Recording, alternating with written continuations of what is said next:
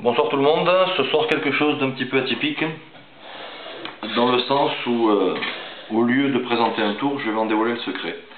Euh, pour une raison très simple, c'est que je ne vois pas l'utilité euh, de se faire passer pour un grand magicien alors que n'importe qui peut y arriver. Tout simplement, voilà. Donc en fait, dans compte ça se passe comme ça. On vous fait tirer une carte au hasard, par exemple, hop là, celle-ci, l'as de pique. Ah ça c'est amusant parce que ça m'arrive une fois sur 52 et pour le coup bah, c'est la 52e. Oui parce que j'ai enlevé les jokers. Hein. Euh, donc le magicien vous fait tirer une carte, on la place à peu près dans le milieu du ruban, hein. jusque là je crois que vous avez euh, l'habitude. Euh, et c'est là que ça se passe, c'est qu'en fin de compte le magicien retourne le paquet et la carte elle est descendue. Il n'y a rien de magique à ça, il suffit de retourner un paquet, je veux dire n'importe qui peut le faire. Euh, je vais m'expliquer un petit peu plus en détail maintenant.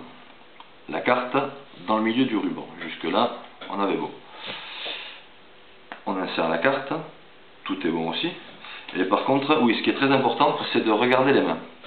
De bien regarder qu'il ne se passe rien dans une main, et surtout qu'il ne se passe rien dans l'autre en même temps. Parce que si on regarde bien, on avait le 8 de trèfle, mais maintenant, c'est l'as de pique. Alors, vous avez compris que c'était pas dans les mains que ça se passait, sous le nez peut-être. Regardez bien. Merci.